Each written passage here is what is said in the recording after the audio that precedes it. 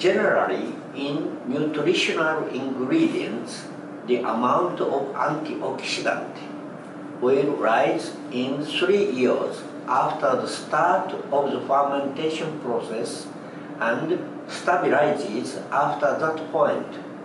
Therefore, drastic changes in the nutrients may not occur. After the optimum fermentation period, moisture in the extract evaporates spontaneously and the paste tend to separate and coagulate.